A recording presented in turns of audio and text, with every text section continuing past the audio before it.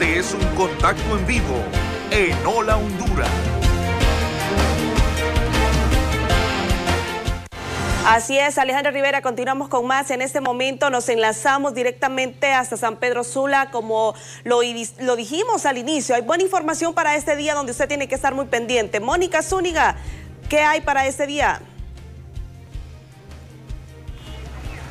Muy buenos días, eh, Jenny, nuevamente, así como se lo mencionábamos en el avance, estamos en la morgue judicial San Pedrana, donde todavía no han reclamado los cuerpos de las cuatro personas que murieron ayer en una masacre en la colonia Unión de esta capital industrial. Como ustedes pueden ver, pues eh, hasta el momento no hay familiares reclamando a estas personas que lamentablemente ayer se sumaron a la lista de las múltiples masacres que han ocurrido durante este año. Para manera de resumen, les vamos a brindar algunos de los nombres de las personas que se encuentran, eh, que murieron ayer en esa, en esa masacre y que son dos hombres y dos mujeres. Dos hombres, uno de 19 años, de nombre Moisés López, otro Javier López, de oficio barbero.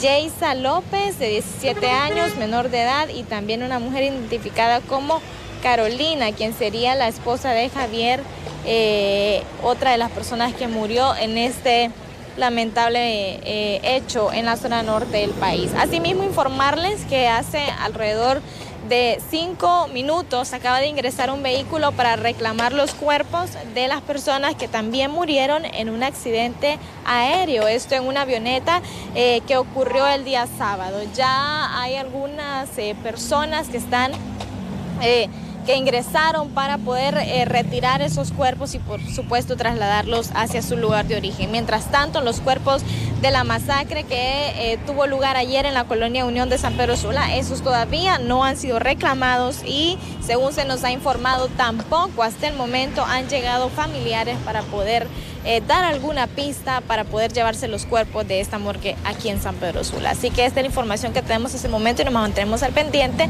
que pueda llegar algún conocido algún familiar que nos pueda dar más detalles de estas personas para que eh, de esa forma podamos eh, llevarles toda la información respecto a este hecho violento que ocurrió ayer aquí en la zona norte del país. Mientras tanto, se mantienen los cuerpos aún en la morgue y estamos a la espera de los familiares. Vuelvo con ustedes. Gracias a nuestra compañera Mónica Zúñiga desde San Pedro Sula en la morgue judicial de la zona norte. Ahora nos